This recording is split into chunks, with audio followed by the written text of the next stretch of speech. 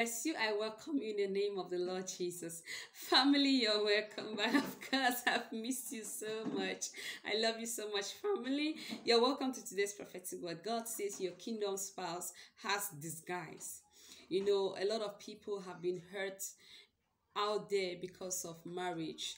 There are some people that don't even want to hear the topic marriage. So this has made now people don't just get married anyhow. People want to know who they are getting married to. They want to know the particular, the real person because from experience that they have gotten from other people, spouse tend to pretend when they are not yet married and then when they get married they show their, their real self and sometimes their real self is not compatible with the person that they had really wanted to get married to or it makes the marriage to become very unbearable. Hallelujah. Glory to God. So, God asked me to tell somebody that your kingdom spouse has disguise in order to know your real self, in order to know your real personality, in order to know your character, to know whether the two of you are compatible. This person loves you so much. This person has had a weakness from God that you are their kingdom spouse, but this person is scared of starting the relationship at once. So the person wants to know who you really are. The person wants to know your real character.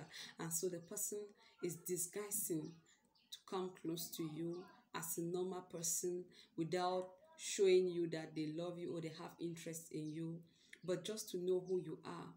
Hallelujah, glory to God. This person is not only going to come, but it's going to send people around you to monitor you, to know your character, and to know your personality. Hallelujah. So the Lord told me to tell you that your kingdom spouse has disguise. So you should be careful. You should show your real self. You should be good to people. You should show your real self. It doesn't matter your weaknesses. It doesn't matter your strength. Just be your real self. Just portray your real character. Don't do a camouflage. And this person will love you for who you are. you know, there are some people that they think they are crazy and nobody wants to spend the rest of their life with them. So sometimes they tend to kind of do a camouflage of themselves. No, that person, your person, your own kingdom spouse, the person that is destined for you, will love you just the way you are.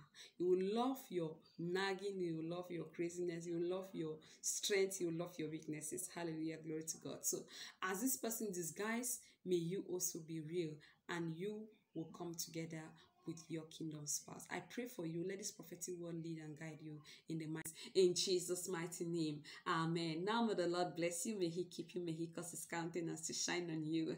may He cause His glory to glow on you. And may He cause His gracious splendor to be made manifest in your life. Family, I love you so much. I love you so, so much. Shalom.